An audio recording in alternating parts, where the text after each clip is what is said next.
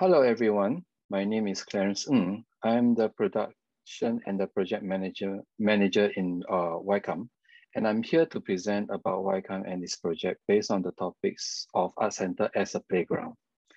Before I start my presentation, I would like to thank Korea National University, University of Arts for inviting YCAM to be part of the Ars Electronica Garden Seoul Festival 2021. Without further ado, I would like to start by going through the agenda for my presentation. Here's the agenda for today. First, I would like to introduce about YCAM. Next, I will introduce the lab, which I think is the crucial part of YCAM. Lastly, I will touch on the playground concept of YCAM approaches and how YCAM engage in local community and show two examples of it. So this is YCAM. Uh, YCAM opens on 1st November 2003. The Yamaguchi Center of Arts and Media, commonly known as YCAM, is an art center located in Yamaguchi City. Through the Arts in Residence program, YCAM aims at the creation of new artworks that break new grounds in the field of arts and media. The center's environment and facilities can be utilized to the maximum extent with artists staying and creating in the actual exhibition spaces. They strive to advance media technology to enhance the creativity of arts towards a changing society and culture, and to research the social and cultural role of the art center in the context of this dynamic. In 2004, we applied and managed to operate as a research media art center in Japan. This means we could have the option of submitting research paper to seek for additional funding to support for the new projects that we work with the artists. So where exactly is YCAM? And if you're looking at the map that I presented to you guys now, it is located western side of the Japan, uh, somewhere between Fukuoka and Hiroshima, and it is located in a city where a total area is about 1,023 kilometers square. And we are having an aging population of no more than 200,000 people. And here in Yamaguchi City is actually a quiet and a peaceful countryside. Let's pop inside the center. Within the center, we have venues that designed to host various forms of activities multi-purpose spaces like the Studio A, which is a mid-sized theater, and a Studio B, a white and a black box. The center has also a cinema, a library, and other facility which I will show in the next slide. Operating around a central axis defined by the pursuit of a new artistic expression incorporating media technology, the center has been hosting a variety of events, including exhibitions, performance, movie screenings, workshop for children, and artist residency, etc. since its opening. As I mentioned in the previous slides, we do have auxiliary spaces such as the fabrication lab shown in the top left, of what the picture that I presented to you now. And level one bio lab, which is the top right, a carpentry workshop, and venues to facilitate our experiment R&D works and the combination of both spaces and facilities enable the creation team to translate ideas into prototype and from prototyping into a piece of artwork. Next, I'd like to talk about the YCAM Interlab. Uh, here in YCAM, uh, we have this uh, unique uh, department called the YCAM Interlab.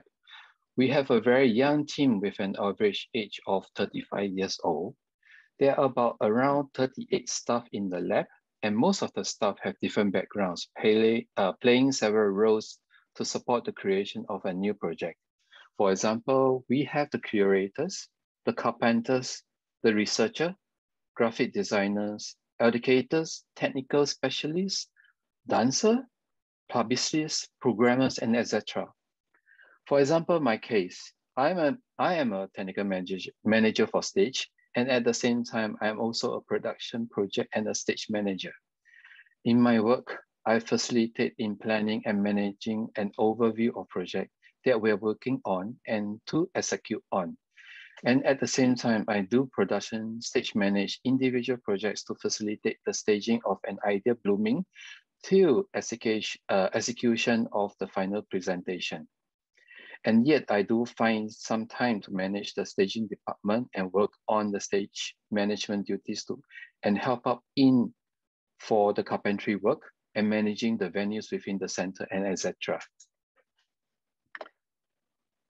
Next, another example from my lab technical team is my colleague Richi Owaki. He is the technical manager for video team. Uh, he often technical direct most of the new project in YCAM where he gave advices and direction as a media tech.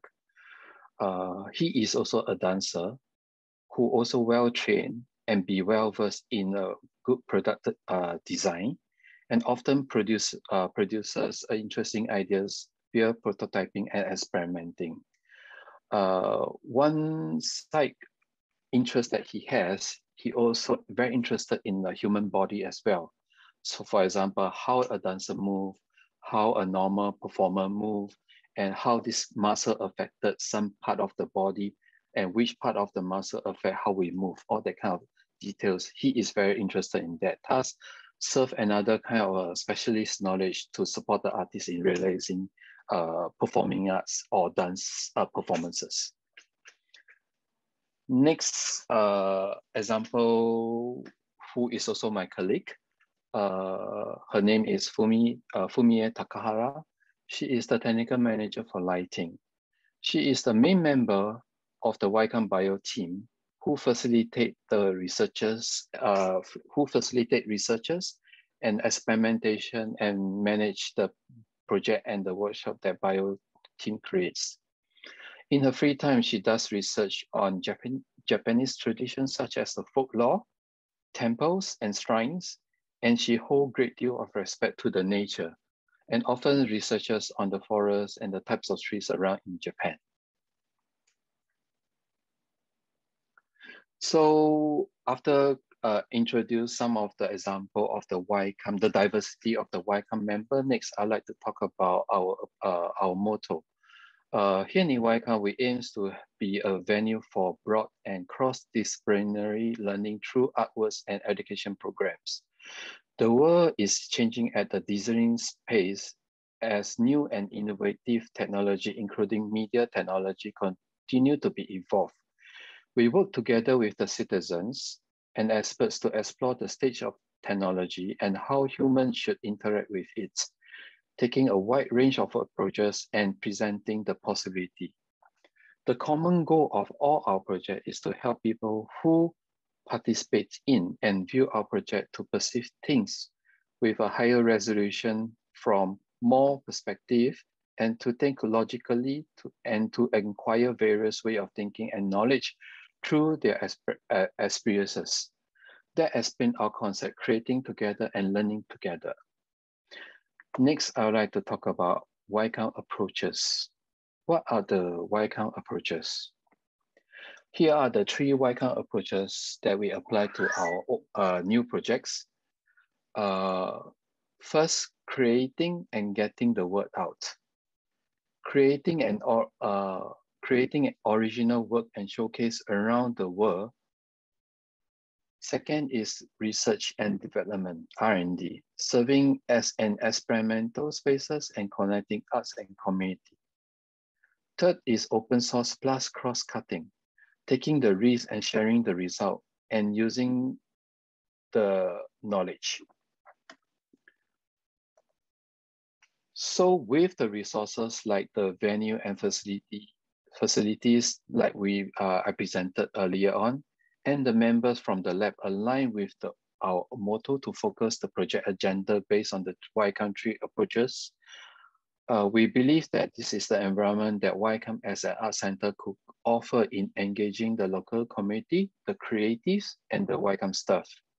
And hopefully with such uh, environment provided, we are able to sustain a, a platform where ideas and thoughts could be shared and discussed through the process of creating and learning. Ultimately, what Art Center could offer is not only providing a platform to inspire, stimulate, and reflect, but also as a platform to share and discuss the diversity, diversity of thoughts and learn from one another as well. With the environment that still as a stimulating support, we aim to engage various communities and audience through YCAM activities that we plan and program, which bring me to the next topic, our YCAM activities. Here in YCAM, uh, the activities are being broken into three categories. We have the education side, arts expression side, which consists of the arts and the performing arts side, and the community, and uh, sometimes some of our projects are not uh, clearly defined as education, arts expression, or community. It can be hybrid as in education plus arts expression and community as well. So to help you understand further of how the activities are being presented or created in YCAM, first I'd like to present the statistic of the programs that we have done in a year to emphasize where our focus is. So uh, as for the past 15, uh, no, almost come to the 18 years, per year, as an average, we have created and produced and commissioned, uh, we have created, produced, commissioned, and presented on an average of 36 projects in a year. Out of the 36 projects, 30% are the newly created and produced for both visual and performing arts. 22% are under the education program to support cinema, visual arts, and performing arts events. The remaining 48% are split up into presented, uh, special projects, touring, commission work, and represented. And in total, we have produced and presented 352 projects, 14 original workshops, open source, six uh, software and hardware that we research and development while uh, creating new, new projects. And we have published 21 research papers to support our new projects. YCAM has been producing artwork since its opening. The facility and the staff has been experimenting repeatedly and the environment for the creating new artwork is well equipped. There have been many cases of artists creating new work of arts at YCAM and showing the result to the world. So I will just share with you guys some of the slides of the project that we presented here in YCAM. This is the one of the work that we presented in 10th anniversary by, uh, it's a project called Forest Symphony by Ryoji Sakamoto and YCAM in 2013. This is a supersymmetry project by Ryuichi Ikeda in 2014, which commissioned in YCAM. Here are the Borders project by Rhizomatiks Research in 2015. And uh, from 2013 to 2017, we have this Promise Park project by Moon Kyungwon.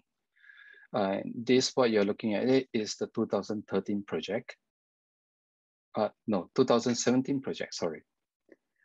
Then uh, here is another version of it in, in the second gallery that we presented for uh, Moon Kyungwon, the Promise Park project.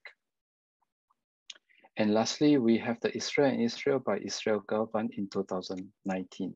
This is the performing arts pieces, uh, flamenco with AI that we newly developed uh, with their technical team, with his technical team. So Art Center as a playground. Uh, since this is the topic for this uh, session, uh, I often think that experimenting and exploring new ideas on site uh, of creating new work is like a playground sessions. So by having keeping this concept in mind, let's bring out the slides of uh, creating together and learning together. So as I previously uh, presented to you, creating together and learning together, uh, here in YCAM, most of projects that we produce are infused the mindset of creating together and learning together. At the earlier stage, we work along with the invited artist and the engineer to research and develop an ideas, design, and the framework. And from these thoughts, we learn to improvise and realize and presented the results uh, to the public with the sole purpose in mind to engage the public and involve them uh, into the conversation and making them the stakeholder in the activities and sharing their thoughts and improvise from there. So this part of it, uh, we think is like a playground because we provide the venue. We have the team that play along with them, uh, uh, how should I say, uh, brainstorming the ideas, experimenting the ideas, try and error, of looking solution together so in the next slide, we shall visualize the production phases to help you to understand better. So this is a general production phases that we go through for a new created project. Normally, a team of us will brainstorm the concept and the theme of the project and discuss about the objective and the focus, what the project will be. Then we will then select the artists that we research thoroughly and who we find suits best for the project that we want to produce. We will welcome on board the artists and start to make plans and further realize the project by having phases of discussion, research, development, and creation, along with the artists, technical team, producers, and others. And this is the part uh, normally or uh, quite often we involve some of the uh, audiences and in the process. Then we often try and errors and learn from the process, which we think are quite very important for us. Then finally, we finalize the process to be ready for the setup in order to realize the final presentation of the project to the audience.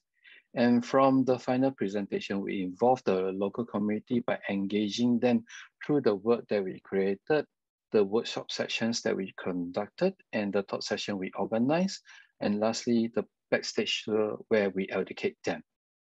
Okay. So this is one of the project developed under the education branch, which fits to the processes that I described to you guys earlier on. Under this project, the Korogaru project series, till date, we have the sixth iteration of this project. Uh, first of all is the Great Shrine project that you see right now on the picture. Second of it is also the Great Shrine project in 2012. And this is the Kolo Garu Pavilion in 2013, which support our 10th anniversary. And this site is outside the YCAM, uh, called the Central Park. And here is the inner part of the, the Korogaru playground. Then this is the 2016 series, uh, we call the Korogaru Garden series. And here is the final one in 2018, the Korogaru Garden Commons. So I just want to explain to you guys a bit about the Korogaru uh, project. The mission of this project is to foster the future makers and hackers. So over the recent years, we are trying to let the kids think and create the uh, ideas by their own in our exhibition for kids. For example, the Korogaru project. No one has instructed them how to use this uh, uh, the playground and they have to find the way how to play with it. And the great thing of this part is it is updatable. We held a kids meeting in every month during the exhibition period. And uh, one of the big themes in YCAM right now is to let the kids think and to create the games and the environment. And we believe this is what we are doing for fostering the future makers and the hacker minds in kids. So as I explained to you guys earlier on, once in a month, there is a meeting called the Children Playground Meeting. We held in the Korogaru series, which is common throughout the six iterations. And at this meeting, what we do is we, uh, we invited the kids to play in the playground for around one month. So after one month, we will have this kind of meeting. And the kids, the children presented, will share how they like to update the part, park. For example, after playing in the playground for one month, they have several ideas. If the, cut, the park can be in this way, if I can put something here, it will be more fun for me to play with the friends or something like that. So with everybody present, including the YCAM staff, agree, uh, Then over the next three days, uh, we will have the YCAM Interlab members to turn the ideas into the reality. So what we'll do in this meeting is the kids will get to present the ideas. Then uh, we'll, within three days, we'll help to realize the idea into reality. For example, uh, there's one occasion uh, in one of the park where the kids requested to hang the rope from the ceiling. And we do this, uh, we realize the idea by hanging the rope from the ceiling and the kids can climb out, of course, under uh, with some safety supervision in mind as well. Then also another idea is to have the wind blow up from below when you hit the floor with a bank. For example, if you look look at the, the playground series that we have, all the, the surfaces of the playground are made of the wood. Uh, and some part of the playground inside we embedded with the sensor and the kids will need to look for the sensor where they are. And uh, this is one part of the playground that the kids have to look for it. So if they realize that the sensor is at that part, that if they, they hit or do something to it, and they realize what the sensor can do, and it will trigger another effect, they will kind of share this solution with another friend. So uh, just now I was uh, telling you guys the wind blow up from the below when you hit the floor with a bang. This is one of the ideas proposed by the kid. So what we do as a technical team, we embedded this sensor under the floor of the, the, the, the playground. And without telling people where are the sensors, so the kids will play and they, knowing that we have already embedded the sensor in the playground, they have to look around the playground and try and tell it. So once they know where is the sensor, they will try to tell the kids, more kids to have come in and have fun. So once they hit the floor with the sensor, uh, another part of the playground will have the wind blow up so that they engage the wind experiences. This is one of the ideas. So uh, the kids get to present their ideas. And if the, the people in the meeting uh, find that the idea is fun and it's also possible to implement within the next day, uh, we will realize the whole idea during the presentation. We will vote this idea to be the winner. Another example of it is uh, the guy, uh, there's one kid who wants to do the bungee jump. And the bungee jump is to have the rope coming down from the top and uh, he can he can how should I say drop it so that he can uh, feel the gravity of it. But this uh, idea is too dangerous, so that we we we say that ah this is not possible because to think about the whole safety of the the, the kids, we stop implementing for the things and we try to uh, implement another solution, which I described to you earlier on the rope that hanging from the grid. And the kids are supposed to climb up from the bottoms up, not coming from the top down approach. So this is another way of how we uh, facilitate the meetings during this kids meeting.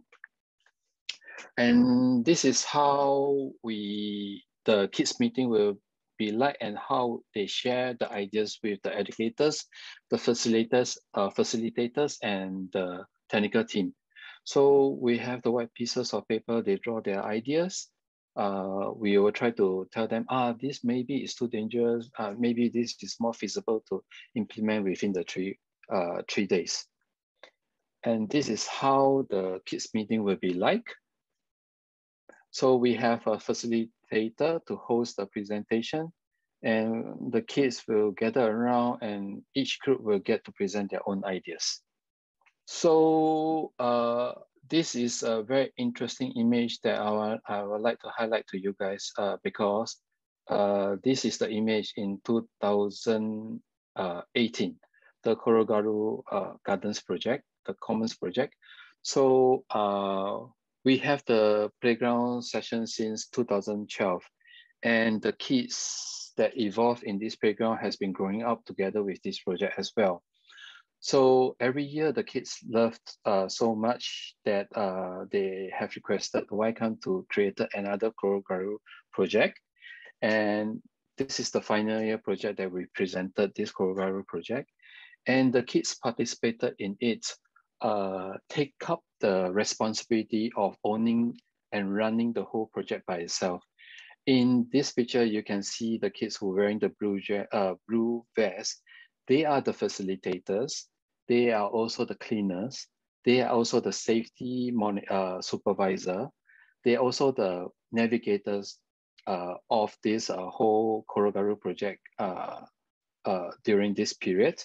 And their role is to guide other kids to, to, to play the playground safely and also to, to reach out for new ideas and to create new interesting ideas or a party within this playground, which uh, from our YCAM point of view, we uh, nurture the kids and grow them into a facilitators where they take out their own responsi responsibility. This is something we find that uh, the successful part of this project. Here is another uh, uh, picture about the kids engaging with the facilitator in this portion of the playground we call we call lab. Uh, they are talking about the to the facilitators about the ideas that they have, what can they do, all that kind of stuff. And here is actually the, the picture about the kids facilitating the whole playground. Uh, without further ado, I just like to show some of the videos for you guys to see how the environment of the uh, playground is like.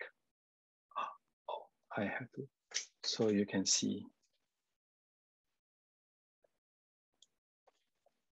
This is the 10th anniversary project in 2013 called the Korogaru Pavilion.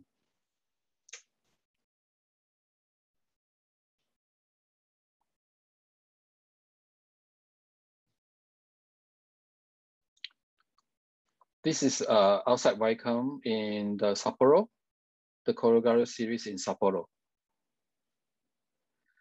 This is the Korogaru uh, garden, uh, garden series for little kids in Isetan, Shinjuku. Tokyo, 2015. This is the Korogaru Garden in 2018, uh, 16, sorry.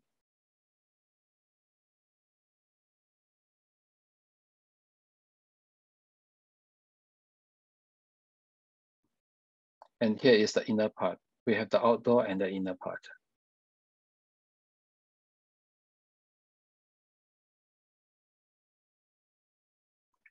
So uh, if you'd like to find out more uh, information about Korogaru project, you can look into our website or you can head over to this Instagram for more picture uh, milestones of this project. Okay, next I'd like to talk something about something similar to this project called Sports Hackathon. Uh, this is a camp style workshop aims to create a new sport. So school in Japan hosts sports day. On sports day, children participate in a lot of different group sports, spring, tug of war, being bags, toss, and etc. In our project, we use this format and those traditional tools and some of the YCAM in-house tools that newly developed or inspired from the past project that we have done. With that, I would like to show you a video. So for example, like this kind of devices we all created uh, here in YCAM. And using these tools, we share with the citizens that participate in this event and use their ideas to develop uh, several games, new games, and hack the games and see what kind of uh, interesting ideas that they can form, what kind of new games they can form. For example, using all these tools to use uh, to play tug of war uh, using the tools just now to, to, to play the laser game, all that kind of stuff. So with this uh, concept, we have this whole thing and uh, bring it to the school. So what we do is we created this sport hackathon for kids and we create a workshop and we deliver this workshop to the school. So uh, without further ado, I just show and you another video. This is one of the cases, the workshop sessions that we bring to the school. Uh, how to hack the media, what is the rule of sports? The participants could think of these things through the workshop. Uh, I would say that the workshop contains the element of performing and also creating the communities. It is happen, it's, it's easy to happen the project to become the cross-cut project in YCAM. So now you're looking at this all this video, the, the kids get to play with the things, the tools that we created for the session through uh, using the media that we produce and created and play with the traditional sports. For example, skipping rope with the, the bar that we created for them.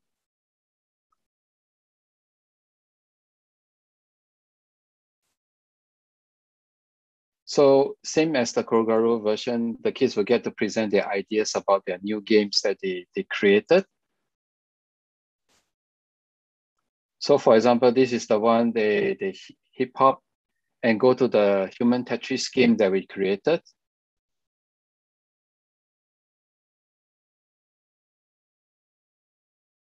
Uh, something like that. Then this is another one, we built a handphone application. So they have to rotate the board. And this is another one, we created the handphone mobile location. They have to build the cloud four and they have to shake the ball. So I think you guys get a good picture of how the whole whole game is being played.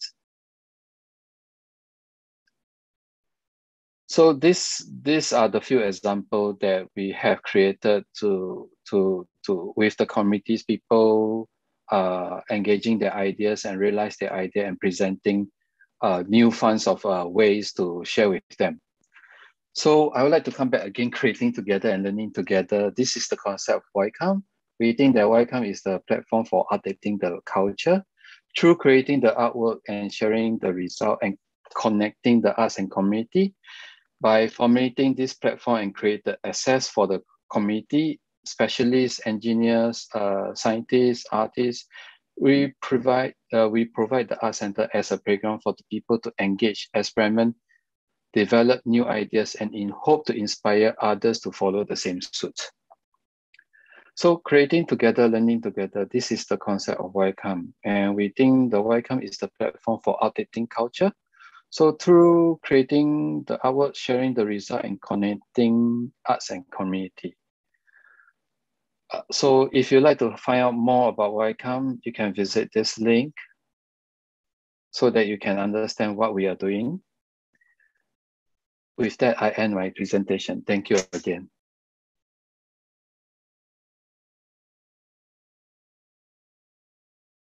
This is uh, Gilles Jobin. I'm a choreographer and a XR director. Um, I live in uh, I live and work in uh, Geneva, Switzerland.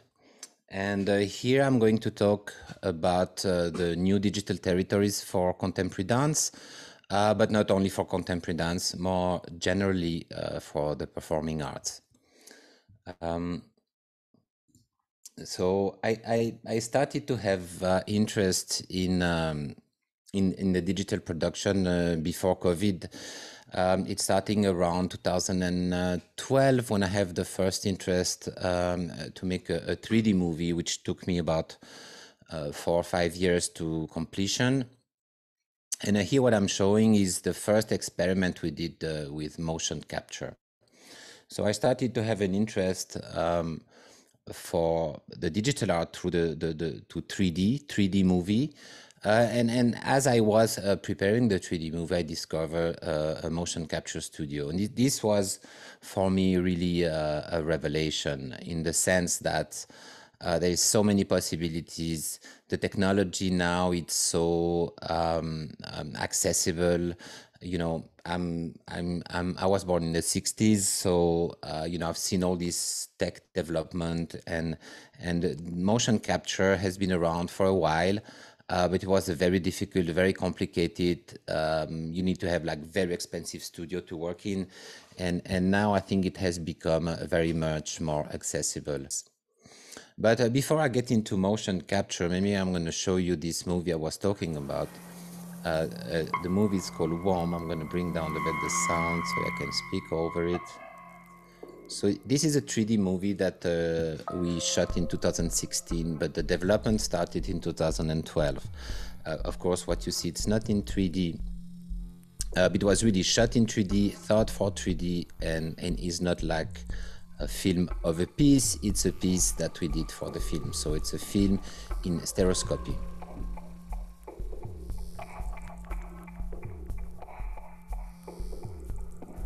So this was shot in uh, 2016 um, and it's been uh, showing around the world uh, since then.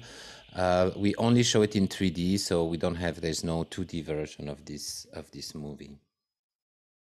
So um, what um, we did for this movie, we did a lot of preparation, and and I think in general, when when you when you move to new technology, you need to really study the subject, really search uh, to know what the tech is, what is feasible, what is not feasible. In this case, as we work in stereoscopy, we really wanted to understand the question of the frame because, you know, in 3D, like, you know, like there is no frame, it's like looking through a window. So what you see is on the other side of the window. So there is no frame really. So we, we, we decided to film the frame and that's how we came up with this idea of a, of a kind of a, a forced perspective in, and a small theater. We also looked at, you know, what is the position of the spectator? What will the spectator see? So um, uh, really the spectator will see a body floating in front of them uh, if you keep it inside the frame. So these are again some of the tryouts that we did, so you can see um, um, what we were looking for in the tryout, and this is the, the final image. Same here. Here also some tryout about uh, what we call the living room scene, and then what eventually it became. So uh, already we were playing with scales and different type of sizes of, you know, I have those most dancers, and you will see them again um, in the following piece, uh, which is called VRI. So before we did VRI, we did a tryout. That's the little duo where I showed at the beginning uh, um, that was really the first step in, in motion capture. It was used as a film projected before one of my pieces. But VRI was a more, more ambitious project because it was to make a piece in VR, immersive VR. So people will be uh, equipped with backpack, with markers on their hands, on their feet, and they will see each other as avatars. So there, there was five people together, five spectators inside this space. As you can see, uh, we had about 16 uh, infrared cameras and uh, these cameras would track the spectators. So the spectators can move freely in uh, this about uh, six meter by five meter um, uh, space, five people together. So that's quite big. And they could, could see themselves um, as avatars. So maybe the best now is to show you um, an excerpt of the piece. Bring down a bit the sound so I can speak over. So that's the beginning. So that's what people discover. So here you can see uh, the equipment. Comme faire un film pour des gens qui n'ont jamais vu d'image en mouvement. So how we can see how the audience is being equipped. So uh, this is a piece which we call location C'est ces marqueurs qui vous permettent d'être situé dans l'espace. Nous, les chorégraphes, on est des spécialistes du volume, de l'espace, de l'espace entre les corps. Et c'est ce qu'on utilise comme tension euh, euh, dramatique. Ça va ou c'est pas trop serré ah, oui. Tu es bien? Évidemment, la réalité virtuelle, on est carrément immergé euh, à l'intérieur de ce volume. Salut So here you can see that these are the real people. You can see their avatars, how they are reacting. and pointing at dancers. And these are these dancers are really big. They're like 35 meter high. So that was quite impressive to be you know active. And here you can see some of the audience. So how people behave inside the piece and how they, they, they, they use their body to experiment with the body. That was one of the surprise that we had like how much people will be moving with their real body we, we also thought the piece as inclusive, so we had an, uh, an avatar in a wheelchair, so that was very uh, nice for wheelchair people, but also for, for other people in the audience, uh, so everyone could participate.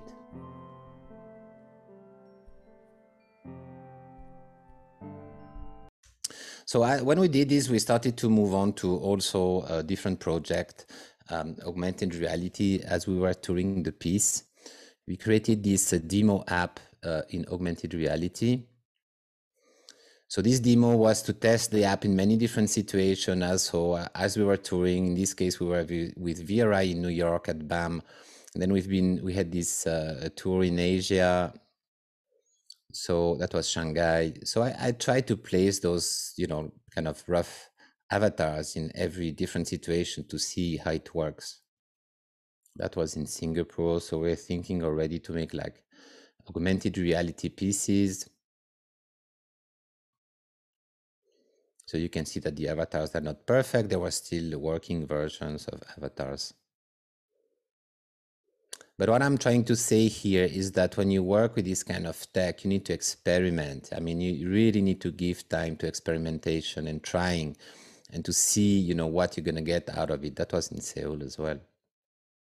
You know, this is a typical test that I did, you know, one afternoon waiting for the rehearsal to start, and that stayed in one of the final pieces. So, really, experimenting is the key um, getting the, the, the, the, tech together and, uh, and started to experiment with the dancers and the movement. The big change for us is that when we start to have our own uh, motion capture equipment in our studio in Geneva, that really allows us to move to the next level.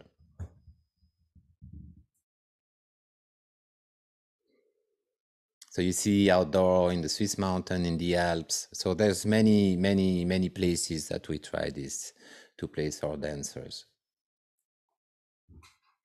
And that's in Seoul.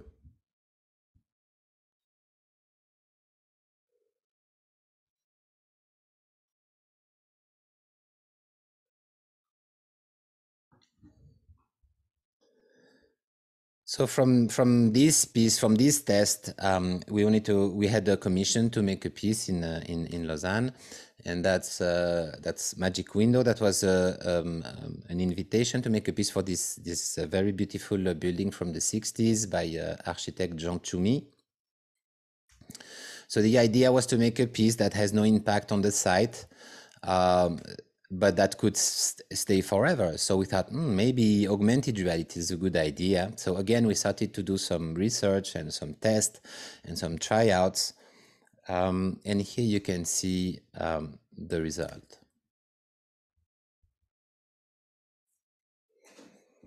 So the idea was to create a piece in augmented reality, but that was connected to the to the venue. So the dancer, the dances that you see, that are fixed in space. So it is not the user who places the dancers; the dancers appear. So they have to scan. Uh, they have to go with their phone uh, over a marker, and the, the marker will trigger an animation. So here some people are trying out the app.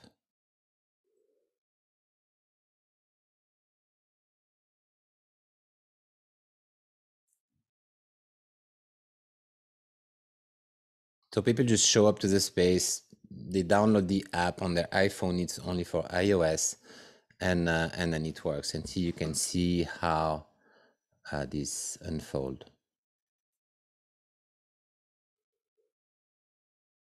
you see these are the different position of the different marker outside and inside the building. So she's going to search for the sites of the markers and uh, she put the markers and that will trigger the animation. And there, there, there she sees. That's the screen capture from her phone. And you can make photos, you can make videos. So really the idea is to share um, these with your friends through social network, make photos, make videos. So in this case, the costume, they change randomly. Every time you connect, you will have a different combination of costumes. This was the day of the opening.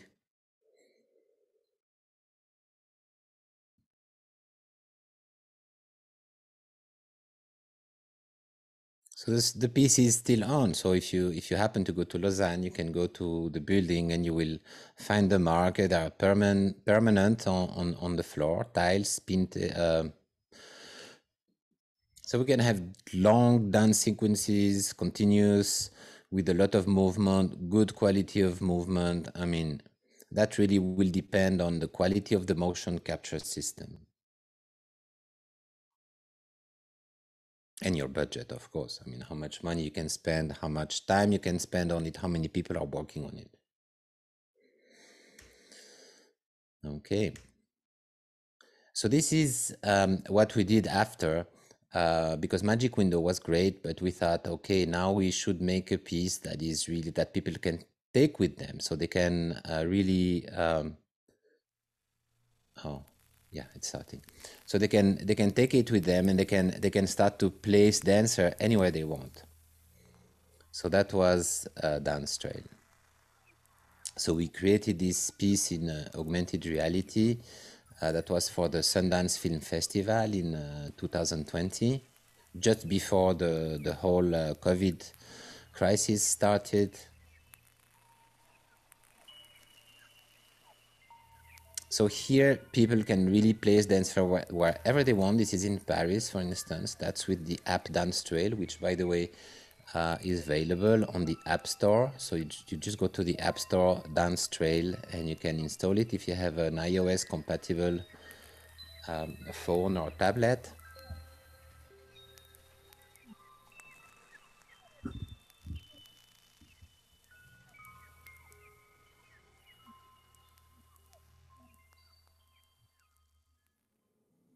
This was uh, also in Paris in a museum and, and by chance. I mean, it seems that their costume are totally fitting the exhibit.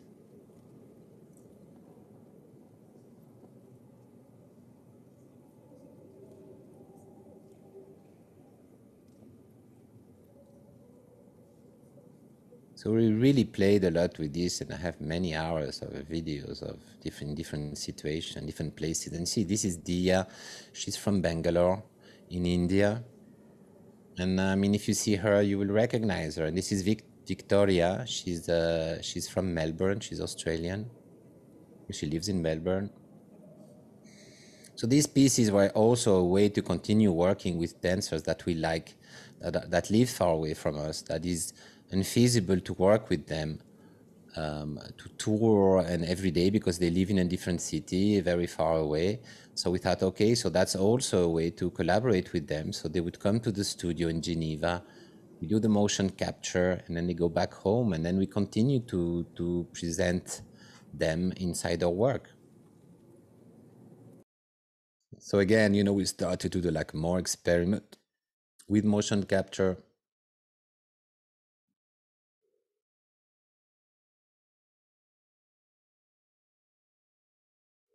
And then we started to work with two screens. So that was also um, um, a, a, new possibility. You just quickly saw Han Ro, uh, the composer of the music. So you see that's how you apply the markers on the dancers' uh, costumes. You can you can add a virtual camera. So this kind of piece of wood is is, is a tracked it's tracked. It, you can see there's markers on it, and that creates a, a virtual camera. And he's kicking a tree down because those blocks are the trees. So we started to develop tools for real-time controlling, so we could control in real time uh, which avatars goes on which screen, um, and and try to combine all these different uh, elements so we had to develop tools because you know this you know nothing really exists um, in in this kind of technology. You really need to kind of adapt it to your needs. So with uh, camilo which is our creative director we really started to think what can be done in terms of tech and art. It's like how can we combine the art creation and the technology the limit of the technology and the possibilities of the of the technology so these were like all experiment into space, uh, having different, you see, there's like we place different camera into the space. So Susanna, you can see her sitting down and then she's also her avatar is also sitting down. And here, this is the virtual camera. And you can see how also we multiply avatars because you have you know avatars that are inside the room. You also have avatars that are outside the window. And you're gonna see them. This is Susanna and Maël, and they're gonna walk. So on one screen they walk to look at the window, and on the other screen they look at the window from outside. And we reverse, we inverse their avatars. So like, you know, uh, you know, so there's we we we started to realize that many uh, possibilities um, motion capture and the real-time restitution of it is giving us. So we started to be really interested in everything that has to do with real time.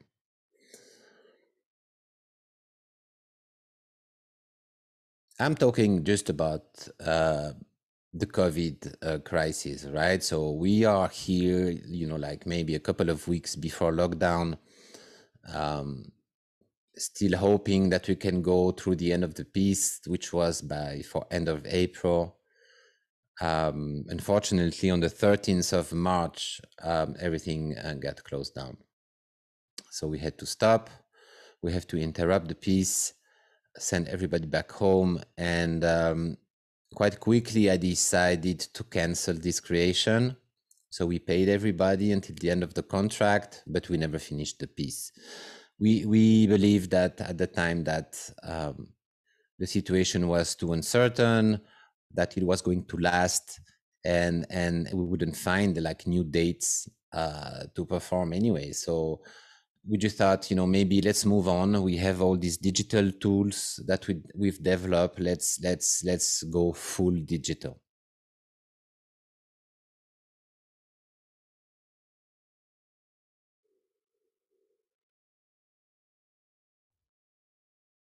We had this project that was already uh, that was happening, which is uh, La Comédie Virtuelle La Comédie Virtuelle is a theater that is a new theater in Geneva that uh, brand new that was under construction when we started the project. And the idea was to create uh, the model of a new theater in 3D, in VR that you can access and visit. So audience could visit, the public could visit the venue even before it was finished.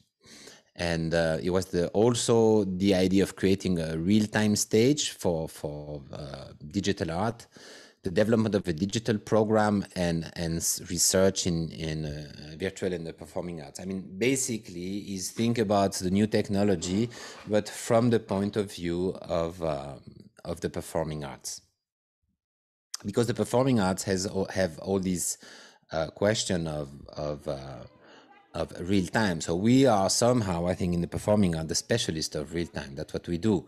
Real time is what we do uh, 3D is what we do. We work in 3D space, we work in space, and we work in real time. So here I'm just showing like a quick visit of the building. So we didn't want this building to be empty and lonely. So we put some animations inside. So they are like in a loop. So it's like a visit. So you can you can go into the space and, and, and see it and and have a have a um, an interesting uh, moment. So you discover the architecture of the space, but you also uh, things are happening. This is the big stage, for instance. So we put a set, we put some dancers. You can go backstage.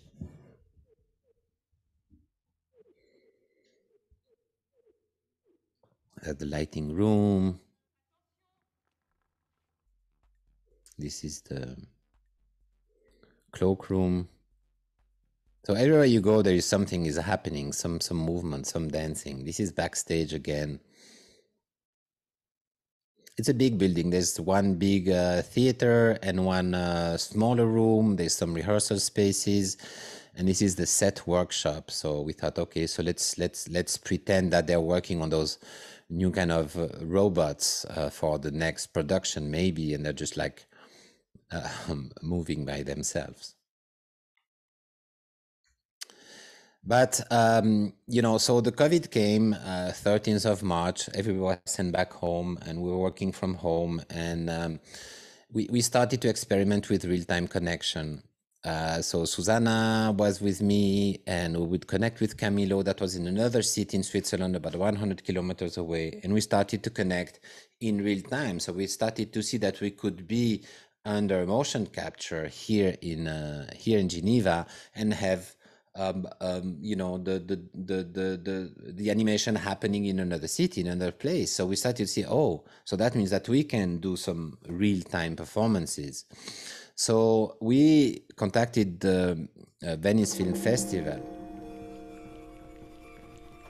And they were very interested by your proposition because we offered them to do a live piece for a multi-user audience so all the people that you see here with their name on top of their heads are real people connected from uh, many different places in the world. Some are location based in Geneva, some come from their house. We had like sometimes 12 or 13 different nationality. And the dancers are in real time. And you can see in the back there is clocks, Geneva, Melbourne, and Bangalore. So uh, we have one dancer in Bangalore, which is Dia, you saw her before, and a Victoria in Melbourne so and three dancers in Geneva. So basically, you have we have five dancers, but they are separated by thousands of kilometers, and the audience is also separated by thousands of kilometers. So we started inside this room, and we thought, okay, so let's let's do like a real uh, performance.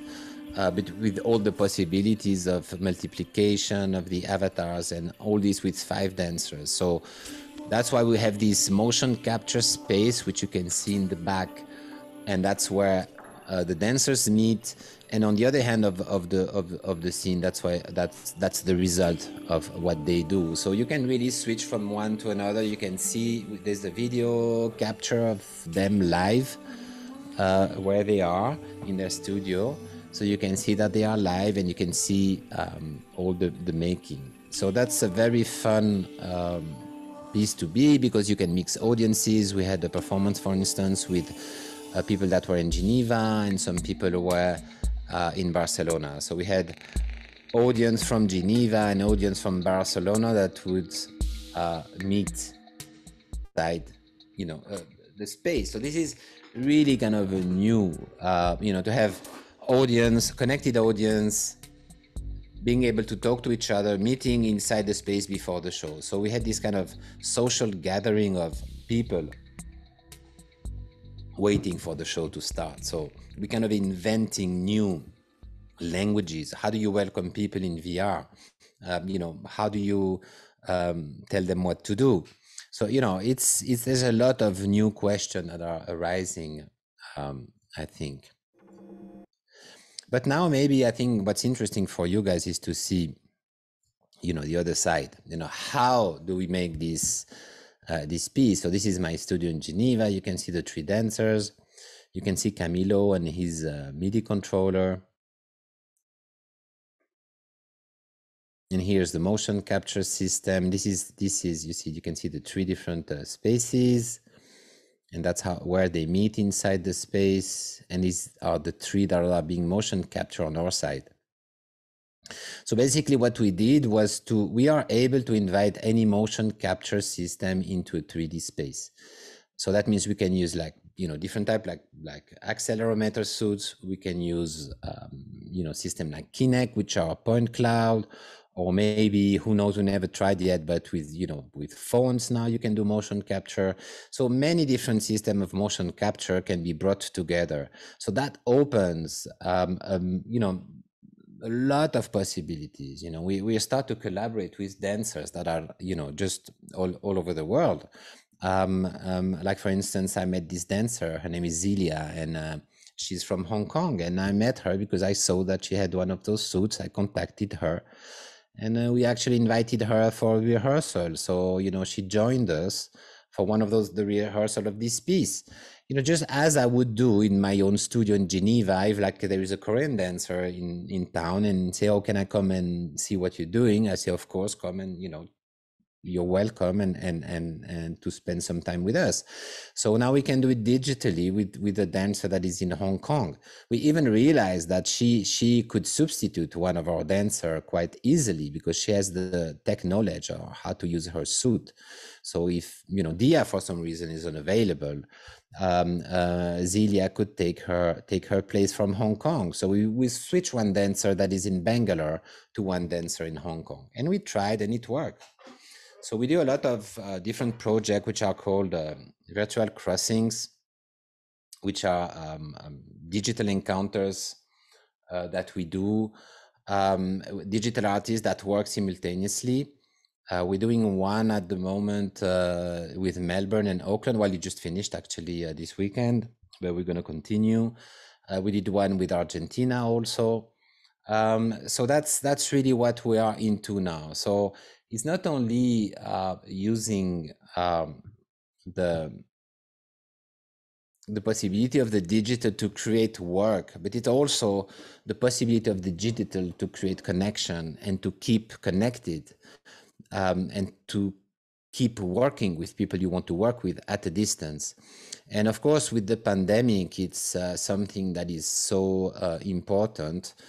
Um, but I think it's going to last. You know, I think it's going, it's going to continue. I think we're going to have projects um, happening in um, in uh, you know in different part of the world and and we will use i think this uh, this technology you know like maybe for part of the process maybe not for the whole piece maybe maybe to prepare the piece maybe for some working session some preparation session and then we can meet physically and work together physically so i think that's the great um, difference now um, and i think the covid situation kind of accelerated this um, you know people connect. I mean we can see i mean we are part of ars electronica and, and there's all those conferences around the world and everybody can connect from everywhere and and this is this uh, the very very new trend you know everybody knows what zoom I, yeah i'm i'm pretty geeky myself but i didn't know what zoom was. But now i do and i'm using it every day. What we have found so interesting in this work is not the result as such is also the process. How we connect like every day with friends i mean professional dancers that we work with at a distance and digital artists and how do we connect with them and work on a daily basis? Like you know put the earphones and hello how are you? and you know like have the chit chat like you would do normally and and and and then get the things going and the things working. So it's very exciting because you are really discovering uh, you know new um, ways of collaborating. It's it's so exciting in a way you know it can be frustrating because for a company like us that we would spend like you know half of the year traveling and touring and presenting our work across the world to different audiences it's it's a it's a kind of a frustration you know to lose this um, contact with friends and, and artists that we know but somehow i mean this tech kind of helped us to stay connected and and i was surprised how international our network is and how we kept connecting. I mean this is one of the many example of how we stay connected with different communities how we make new friends how how we meet new artists and new projects. So for me it's really open, opening up. I mean the digital uh, technology opened up uh, a lot of new possibilities for me to keep on working to do things that would be impossible in real life, like having 35 meters high dancers or very tiny ones, um, multiply dances, and, and also invent a new language. And I think that's so exciting uh, because there's no reference. I mean, every, everywhere you look is like, I mean, there's no uh, literature, there's no YouTube video how to make a piece, a digital piece. So you need to invent everything. And uh, so that's what we do. So we have these project called Virtual Crossings, and that's where we try to bring like uh, um, collaborators from different places of the world, and and stimulate this idea of you know real time performances from the point of view of the visual art. So that's how I'm going to end my lecture. And I hope you enjoyed it. And um, through the example, you can, of course, reach out to my website and the Vimeo channel and see most of my work and um, I hope you enjoyed it and thank you and um, let's let's stay in contact digitally for now.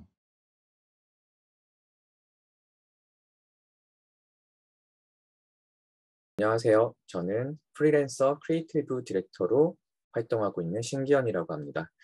어, 저는 크리에이티브와 테크놀로지가 만나는 지점에서 다양한 활동들을 하고 있고요. 최근에는 어, 메타버스라는 키워드가 굉장히 주목을 받고 있죠. 어, 그러한 키워드 하에 새로운 서비스도 만들고 새로운 서비스에 대한 기획 그리고 제작에 대한 부분을 다루고 있고요. 그리고 개인적인 창작 작업들도 어, 진행을 하고 있습니다. 제가 오늘 준비한 내용은 어, 미래 아티스트를 위한 리터러시라는 주제를 가지고 왔고요. 어, 계속해서 변화하는 어떤 기술적인 변화나 시대적인 변화의 흐름 가운데서 창작자들이 무엇을 가지고 어떠한 무기들을 가지고 새로운 창작을 확장해 나갈 수 있을지에 대한 그런 가능성을 한번 어, 타진해보는 그런 시간을 가졌으면 좋겠습니다. 어, 첫 번째 사례를 좀 소개해 드리려고 하는데요. 어, 메타버스라는 키워드 하에 가장 자주 언급되는 포트나이트라는 게임이 있죠. 어, 이 게임 안에는 파티 로얄이라는 모드가 있어요. 이 안에서는 어떤 서로 대결을 하거나 경쟁을 하는 그런 어, 목적 대신에 어, 아무런 목적 없이 3차원 공간 안에서 누, 구나 쉽게 뛰어놀 수 있는 그런 자유로운 공간이에요. 어, 제가 최근에 가장 인상 깊게 봤던 사례인데요. 우리가 잘 알고 있는 크리스토퍼 놀란 감독이 이 포트나이트라는 공간 안에서 영화를 상영했다라는 사실입니다. 어, 지금 보시는 이 화면이 포트나이트 속의 3차원 공간이고요.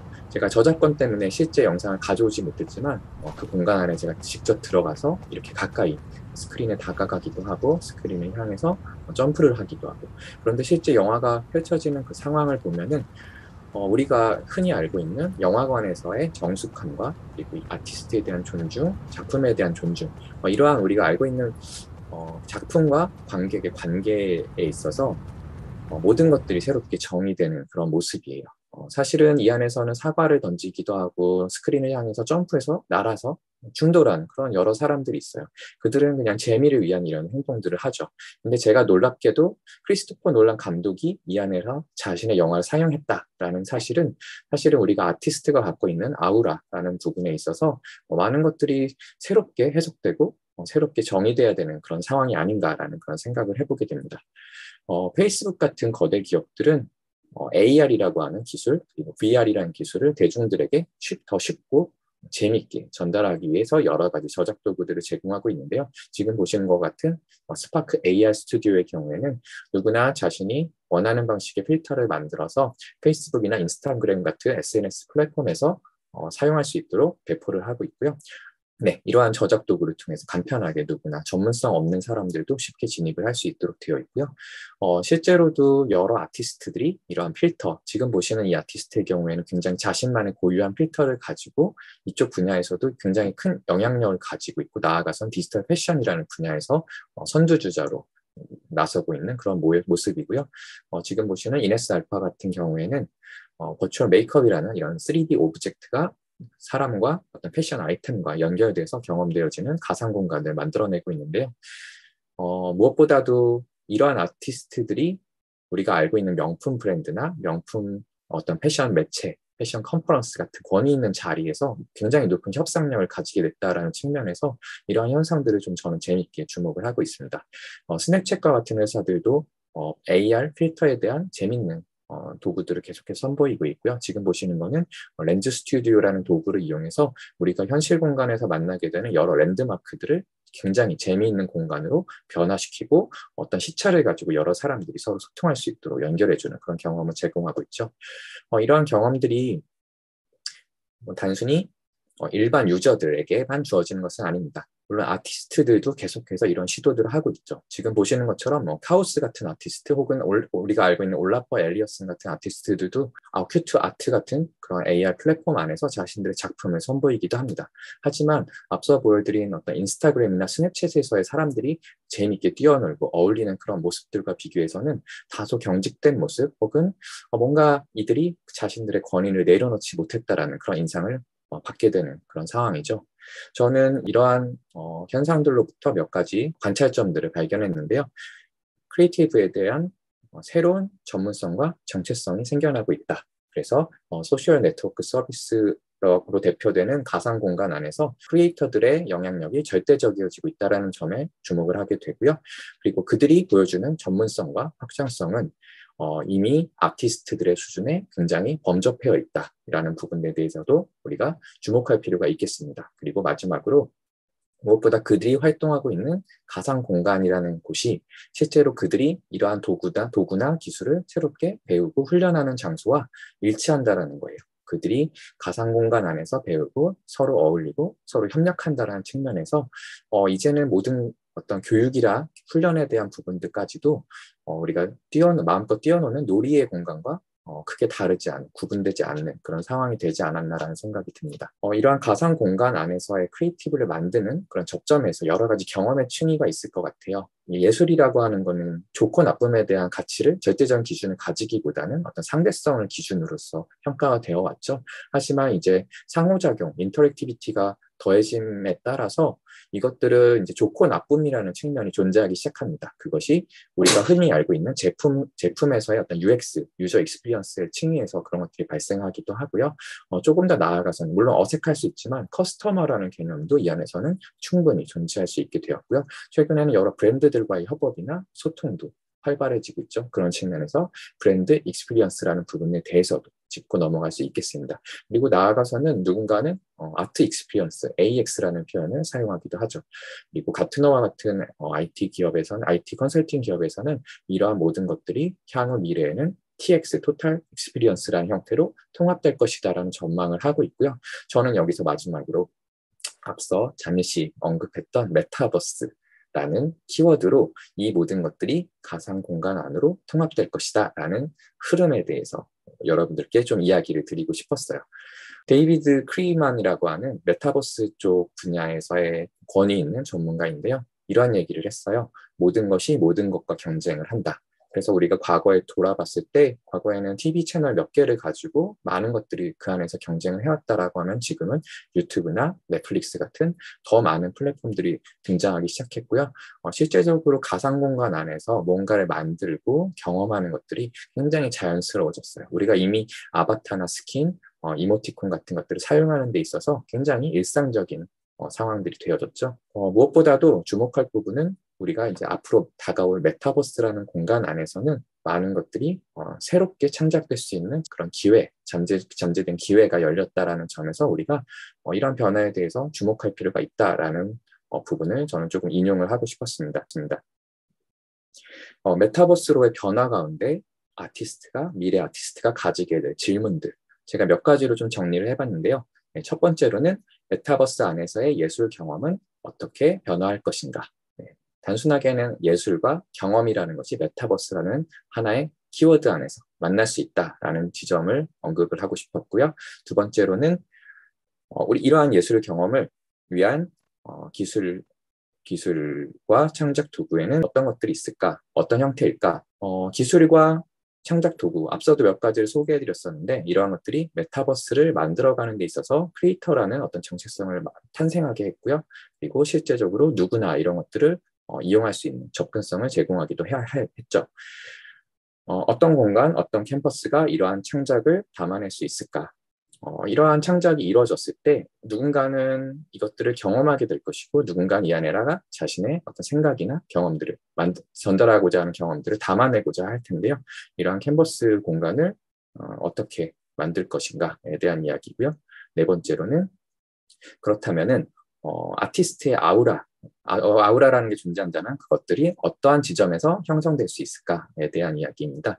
그래서 마지막 어, 이러한 하나의 구조가 완성되었을 때 어, 저는 오늘 제가 전달드리고자 하는 메시지가 총체적으로 어, 여러분들께 전달될 수 있다라고 그런 생각을 가져봤습니다. 어, 그 중에서 첫 번째 질문에 대해서 먼저 답을 좀 달아보려고 해요. 메타버스 안에서 예술 경험은 어떻게 변화할 것인가? 몰입과 연결, 실시간 경험으로의 방향성을 가지게 될 것이고요. 그리고 어, 과거에는 어떤 기호를 통한 추상화를 가지고 뭔가를 전달하고자 했다면 이제는 모든 것들이 직접적으로 표현되는 시대가 되어가고 있어요. 어, 앞서 보신 것 같은 3차원 공간들이 그런 대표적인 예가 될 수 있겠죠. 그리고 작품과 관람객이라는 전형적인 관계가 이제는 새롭게 변화하게 되고 새롭게 정의될 것이다. 라는 부분이고요. 어, 마지막으로는 개인화된 소유와 감상 경험 그런 것들이 어, 무한하게 확장해 나갈 것이다 라는 지점을 언급드리고 싶습니다. 어, 몇 가지 예를 좀 보여드리려고 해요. 올해 초에 어, 사우스 바이 사우스 웨스트라고 하는 어, 글로벌로 가장 크게 펼쳐지는 크리에이티비티에 대한 페스티벌이죠. 어, 여기서는 VR 챗이라는 플랫폼을 통해서 어, 이러한 지금 보시는 것 같은 가상 공간의 온라인 XR 플랫폼을 제공을 했습니다. 이 안에 여러 사람들이 직접 접속을 해서 서로 소통을 하고 어, 교류를 할 수 있도록 되어 있었는데요. 이 공간 자체가 주는 예술성, 저는 제가 어, 이런 공간을 직접 만드는 사람이기도 하고 어, 새로운 공간이 오픈했다라고 하면 열심히 가서 경험을 해보는 입장인데 어, 지금까지 봤던 모든 공간들과 비교해서 이 공간이 하나의 어떤 조각 같은 느낌, 도시 같은 가상의 도시 같은 느낌을 전달해 줬었고요. 그래서 이 안에서 저는 새로운 사람들을 만나고 그들과 소통하는 그런 경험을 통해서 어, 이게 단순히 어, 가상현실 이거는 VR 헤드셋을 쓰고 이 공간 안에 들어가서 사람들을 만나서 지금 보시는 것처럼 이렇게 손을 흔들고 어떤 제스처를 취했을 때 상대방이 그것에 대해서 실시간으로 상호작용을 해준다라는 부분이 굉장히 짜릿한 어떤 새로운 경험으로 다가옵니다. 지금 저의 아바타의 모습이지만 어, 누구나 자신이 원하는 아바타의 모습으로서 이 공간 안에서 어, 자신을 표현할 수가 있겠죠.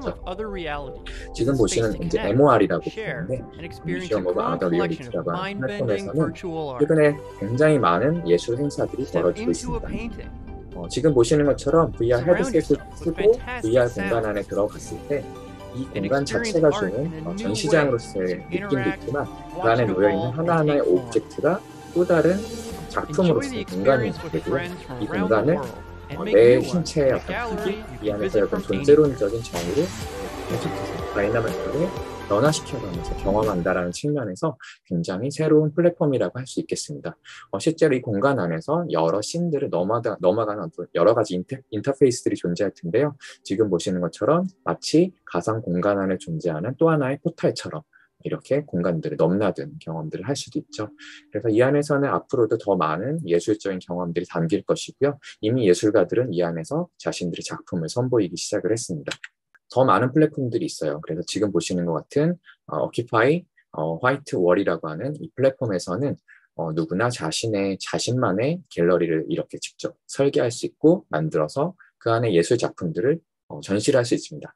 여기서 재밌는 지점은 어, 자신의 어떤 예술 작품을 이 플랫폼의 라이브러리에 등록을 해놓게 되면은 사람들이 그것들을 어, 자신이 큐레이션을 하는 방식을 통해서 이 공간 안에서 노출을 할 수가 있어요. 그래서 앞으로는 어, 떤 디지털 세계에서의 가상 세계에서의 예술 작품에 대한 노출, 어, 큐레이션이란 개념 자체가 완전히 새롭게 정의될 수 있겠다라는 생각이 들고요. 어, 지금 보시는 테라 버추어 같은 경우에는 최근에 많이 주목받고 있는 NFT라고 하는 키워드가 있죠. 이 NFT 기술을 통해 만들어진 디지털 아트를 이 공간 안에서 체험하고 어, 거래할 수 있는 이러한 어, 기본적인 기능들을 제공을 하고 있습니다. 지금 보시는 작품은 굉장히 특이해요. 잠깐 감상을 하시자면 어, 이거는 어, 유니버셜 에브리싱이라고 하는 미디어 아티스트 그룹에서 현재도 유튜브를 통해서 실시간 생중계를 하고 있는 어, 작품이에요. 제목 자체가 인피니티고요. 지금 보시는 이 객체 하나하나가 계속해서 새롭게 생성되는 제너레이티브한 속성을 가지고 있고요. 지금 보시는 것처럼 왼쪽 아래 보시는 것처럼 일련 번호가 계속해서 업데이트 되는 걸 보실 수 있고요. 지금 여러분들이 보셨던 28만 8, 8, 어, 8천 번째 어, 오브젝트와 캐릭터와 나중에 또 접속하시면 이 숫자 자체가 더 앞으로 나아가 있겠죠. 그래서 가상 세계와 현실 세계 그리고 뭐 생성, 제너레이티브 한다라는 속성 자체가 굉장한 가상성을 가지죠. 이러한 여러 가지 문법들을 아티스트가 자유롭게 가지고 노는 그러한 모습으로 굉장히 큰 자극을 주는 작품이 아닐까라는 생각이 듭니다. 두 번째 질문으로 넘어가 볼게요. 이러한 예술 경험을 위한 기술과 창작 도구는 어떤 형태일까? 어, 여러 가지가 있을 텐데요. 저는 오늘 몇 가지 어, 조금 시야를 좁혀서 몇 가지의 초점을 두고 이야기해 보려고 하는데요. 어, 제가 많이 느끼고 있는 것은 현재 아티스트들이 다룰 수 있는 툴들, 주로 활용하고 있는 툴들이 이미 거대 IT 기업들의 손에 많은 부분 넘어가 있다. 그리고 아티스트들은 사실 그거에 어, 깊이 종속돼서 사실 앞으로 언제 벗어날 수 있을까 라는 그러한 의문이 들기도 합니다. 물론 오픈소스나 여러 가지 대안적인 활동들이 있긴 하지만 막상 창작자의 입장에서는 이러한 유용함으로부터 벗어나기가 어려운 것이 사실이에요. 그리고 이러한 것에 조금 나아가서 표준화나 호환성, 개방성과 같은 여러 가지 속성 측면에서도 어, 이런 IT 기업을 거쳐서 IT 산업 전반에 있는 흐름들과 일맥상통하게 연결된 지점들이 계속해서 발생을 하고 있죠. 어느 순간은 어, 정책의 측면에서 개발사가 이런 플랫폼을 내놓고 아티스트들이 그 안에서 창작을 했을 때 그 결과물이 우리가 보이, 알지 못하는 사이에 그들에게 종속되고 소유권 자체가 넘어가는 경우들도 있어요. 이런 것들을 꼼꼼하게 살피지 않는다라고 하면은 우리가 이런 편의와 나의 어떤 창작자로서 가지고 있는 정체성을 서로 맞바꾸는 그런 상황이 될 수도 있는 거죠. 어, 물론 제가 이렇게 어려운 얘기를 했지, 무거운 얘기를 했지만 실제 사용하는 입장에서는 굉장히 재밌는 것들이 많이 있고요. 많은 자유도를 우리에게 주어지는 것이 사실입니다. 지금 보시는 것 같은 트위터, 트위트 브러쉬, 네, 구글에서 선보였던 이런 플랫폼들도 있고요. 어, 3차원 공간에서 드로잉을 한다는 첫 번째 경험을 우리에게 선사했던 그런 서비스예요. 굉장히 새로웠고 최근에까지도 어떤 패션 분야나 어, 어떤 회화, 조각 등의 분야에서 아티스트들이 자유롭게 활용을 하고 있는 도구이고요. 어, 그거와 조금 반대로 그래비티 스케치 같은 경우에는 좀 더 나아가서 자동차 회사나 어떤 가전 회사 같은 디자인 회사에서 실제 어, 실무의 설계, 제품 설계를 위한 도구로서 활용을 하는 그런 수준이 많죠. 지금 보시는 거는 어도비에서 선보인 어, 미디엄이라고 하는 어, 서비스인데 요. 지금 한 아티스트가 이 안에서 스커트 모델링을 하고 있죠. 게임이나 영화에서 등장하는 어떤 캐릭터에 대한 디자인인데요. 우리가 현실에서는 이런 것들을 진흙 같은 어, 어떤, 어떤 구체의 어떤 어, 미디엄을 가지고 해왔다라고 하면 이제는 가상세계 안에서 무한하게 그리고 지금 보시는 영상 굉장히 짧게 잘라왔지만 실제로는 2시간 이내에 하나의 결과물이 나와요. 그래서 이러한 어떤 제작에 대한 흐름이 굉장히 빠르게 변화하고 있고요. 지금 보시는 아티스트는 고로 필치타라고 하는 아티스트인데요. 어, 오큘러스가 만든 퀴리라는 툴을 전문적으로 사용하는 아티스트고요.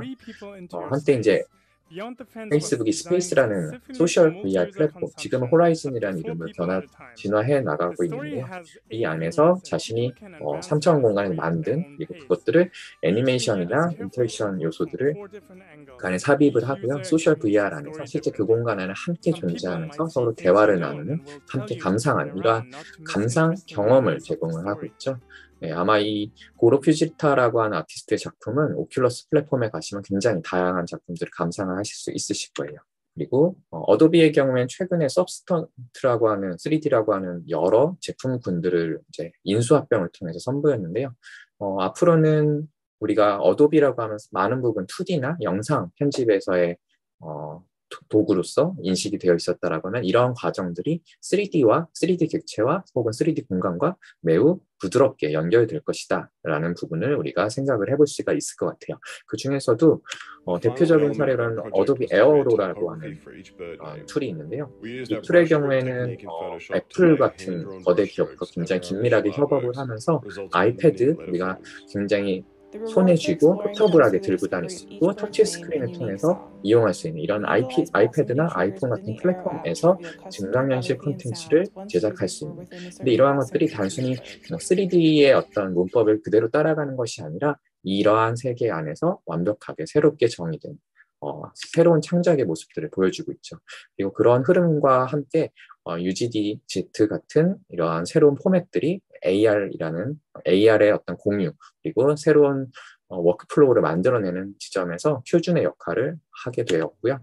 지금 보시는 거는 언리얼이라고 하는 가상 세계를 만들어내는 게임 엔진 안에서 GIS라고 하죠. 이런 위치 정보 그리고 이런 위치 정보가 단순히 어, 몇 컴마 몇의 좌표로서 작동하는 것이 아닌 완벽하게 미러 월드된 디지털 트윈 세계의 3차원 공간으로서 이런 공간을 우리가 체험할 수 있는 어, 정보를 누구나 쉽게 사용할 수 있도록 개방을 했습니다. 그래서 세슘이라는 이런 어, 플러그인을 사용하게 되면은 우리가 내가 만들고자 하는 가상 공간을 언리얼 엔진 안에서 자유롭게 사용할 수 있도록 어, 기, 능을 제공을 하고 있죠. 제가 가장 주목하고 있는 것은 드림 유니버스라고 하는 이 게임이에요. 이거는 이제 제가 게임이라고 소개를 했지만 실제적으로는 이 안에서 수많은 창작을 할 수 있고요. 그리고 새로운 게임을 또 만들 수도 있습니다. 어, 소니의 플레이스테이션 안에서만 이용할 수 있고요.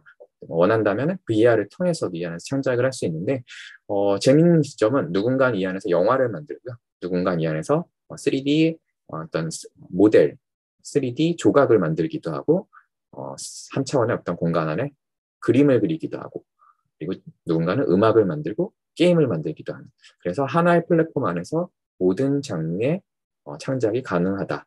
그리고 그러한 창작을 바로 그 자리에서 이 플랫폼에 공유를 하게 되면은 이, 이 플랫폼 방문한 누구나 그것들을 쉽게 이용할 수 있고 그 안에 감상을 남기면서 서로가 어, 소통을 할 수 있는 이러한 소통의 경험을 제공하기도 합니다.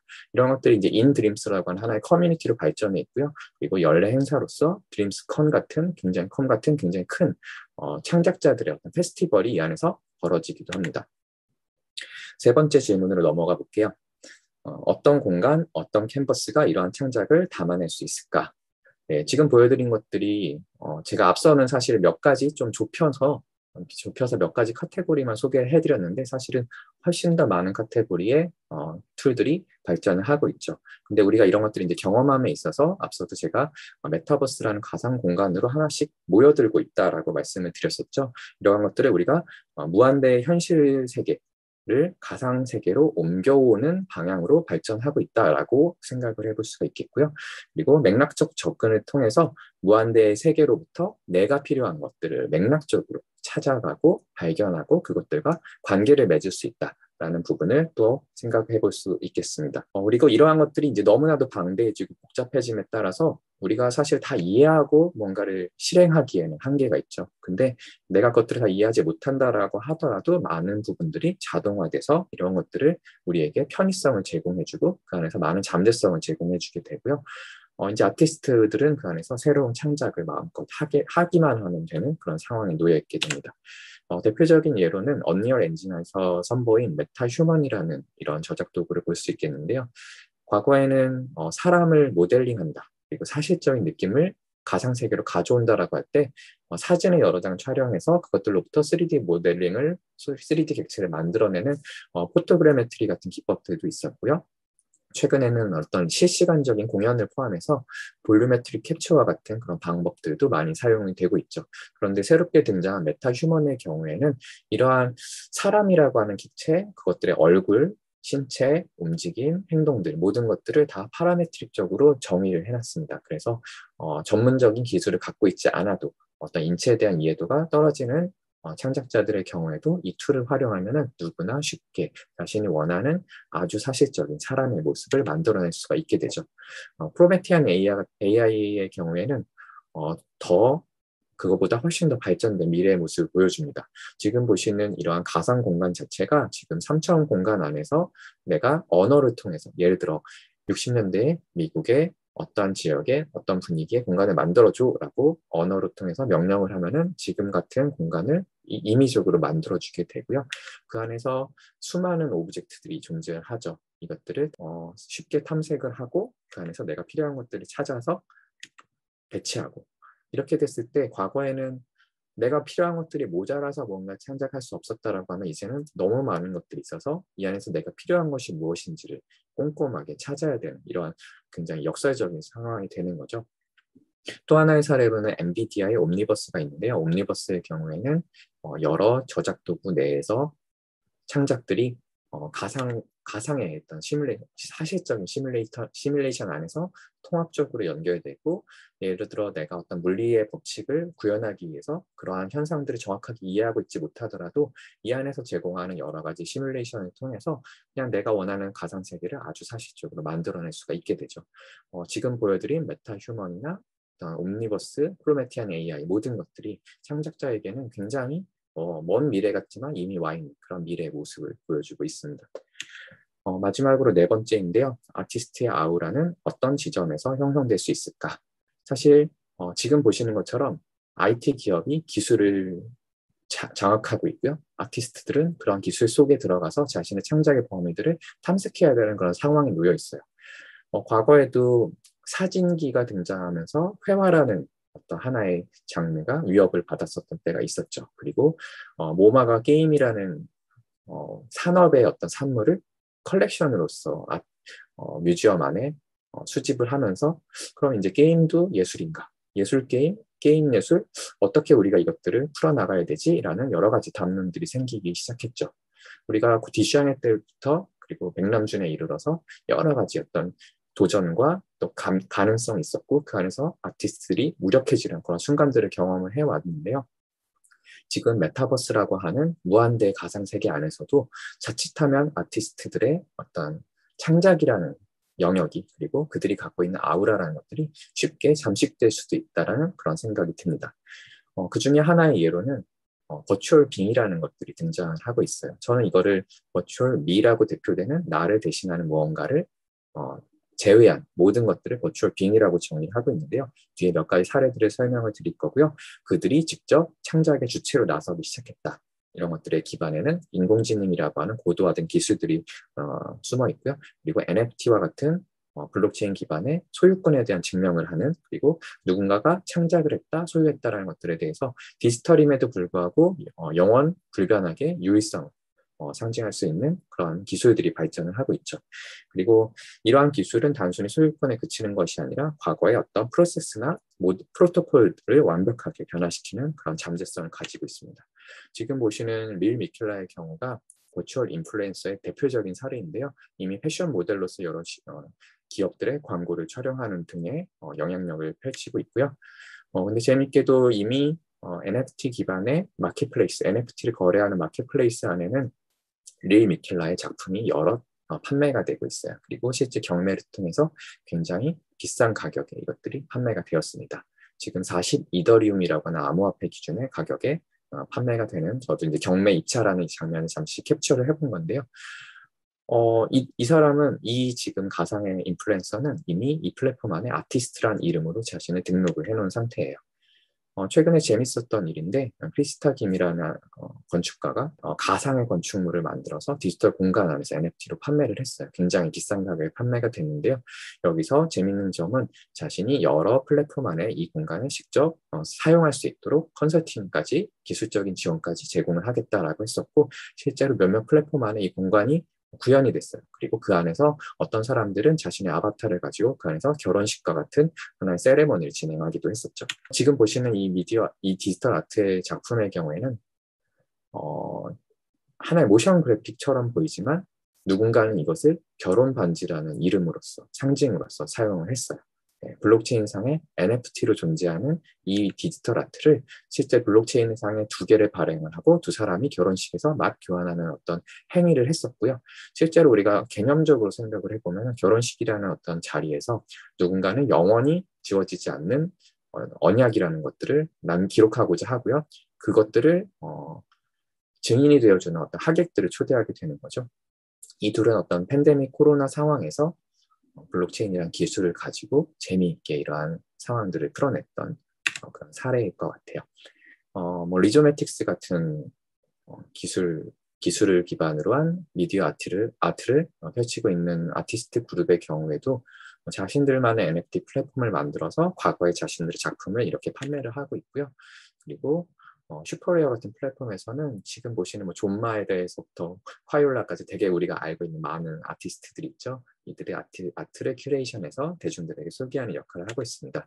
어, 싱크 같은 경우는 조금 더 나아가서 가정에서 뭐 애플 TV와 같은 어떤 디바이스를 통해서 어, 이런 NFT 작품을 누구나 쉽게 감상할 수 있게 한다. 그래서 소유에서 경험의 단계로 일정 부분을 어, 전환을 시키는 그런 발전적인 모습들을 보여주고 있죠. 그런데 아직도 NFT에 대해서는 많은 논란이 있어요. 이것들을 소유하는 것이 그냥 단순 JPG 파일하고 뭐가 다르냐라는 그런 이야기들이 있죠. 그런데 어, 애슐리 로마스, 라모스라고 하는 어, 니프티 게이트웨이라는 어떤 거래 플랫폼에 어, 한 사람이 이런 얘기를 했어요. 어, NFT라는 것이 우리가 흔히 알고 있는, 우리가 잘 알고 있는 일본의 아티스트죠. 야요이 쿠사마의 인피니티 미러드 월 룸을 감상하는 경험과 다르지 않다. 이게 무슨 말인가 좀 생각을 해보면은 어차피 우리가 미술관에 이런 작품을 감상하러 갈 때 우린 이것을 소유한다라는 관점보다 이걸 집에 네, 들고 온다라는 관점보다는 그 안에서 이것들을 경험하고 그 안에 어, 관계를 그 작품과 내가 관계를 맺는 그 경험에 집중을 하고 있다는 거죠. NFT도 많은 부분 소유에 대한 이야기가 있고 소유를 서로 판매하고 거래한다라는 부분을 주목받고 있지만 실제적으로는 이런 경험이라는 부분에 대해서 조금 더 생각을 해볼 필요가 있겠습니다. 그래서 그 대표적인 예가 어 이제 소더비의 세계 최대 경매 예술품 경매 경매 플랫폼이죠. 어, 소더비는 최근에 어, 디센트럴랜드라고 하는 가상 공간 가상의 메타버스 플랫폼 안에 자신들의 갤러리를 오픈했고요. 그 안에서 어, 실제적으로 여러 유명 아티스트들의 작품을 어, 경매를 진행을 하기도 했어요. 그래서 실제 공간에 들어가면 이렇게 작품을 감상할 수 있고요. 지금 보시는 이 작품이 어, NFT 쪽에서는 가장 많은 어, 시가총액을 가지고 있는 크립토 펑크라는 작품이에요. 어, 가장 고가에 판매된 작품의 경우에는 750만 어, 달러. 이게 24 곱하기 24 픽셀의 굉장히 단순한 이미지인데도 불구하고 이러한 가격에 판매가 되고 있어요. 왜일까? 그 현상에 대해서는 아직도 많은 해석들이 있는데 지금 제가 뒤에 보여드리는 여러 가지 사례들을 통해서 여러분들께서 아 NFT라는 것이 단순히 소유에서 그치는 게 아니고 경험하고 관계를 맺는 것이구나라는 것에 대해서 다시 한번 생각을 해보실 수가 있으실 것 같아요. 하나의 예로 미국의 마이애미 지역에서는 90개의 빌보드를 구매를 해서 이렇게 어, 공공 전시 형태의 어, 전시를 진행하기도 했었고요. 어, 지금 보시는 아티팩트라고 하는 그룹에서는 메타 자켓이라고 하는 가상의 어, 드레스, 가상 패션 아이템들을 이런 식으로 제작을 해서 계속해서 판매를 하고 있어요. 어, 지금 보시는 이 작품의 경우에는 애초에 어, 디자인이 결정돼 있지 않은 인공지능에 의해서 어, 디자인이 계속해서 생성되는 그런 작품이라고 보시면 되겠고요.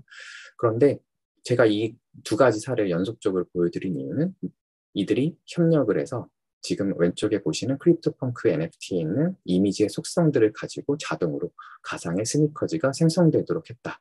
그리고 이런 NFT를 다시 그들에게 무료로 배포를 하기도 했다라는 지점이고요. 어, 이렇게 해서 수많은 NFT가 무한대의 어, 제너레이티브한 아트, 아트로서 그리고 누군가 신발을 만들기도 하지만 누군가는 이 얼굴에 대한 몸을 만들기도 하고 굉장히 재밌게 서로 소통하며 그것들의 가치를 확장해 나가고 있습니다. 어, 여러 가지 이런 사례들을 좀 설명을 드렸는데요. 다시 돌아와서 제가 처음에 설명드린 네 가지 질문에 대해서 다시 이렇게 답을 어, 상기시켜 드리고 싶고요.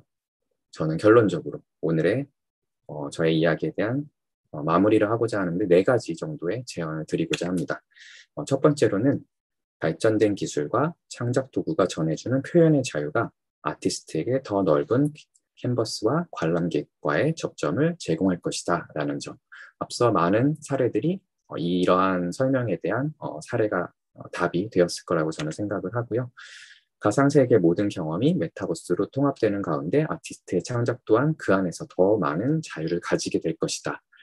이거는 우리가 얼마큼 열심히 영리하게 행동하느냐에 따라 달려 있는 것 같아요. 어떻게 보면 누군가는 더 많은 자유를 가질 수도 있지만 그 안에 종속되는 반대 상황이 펼쳐질 수도 있겠죠.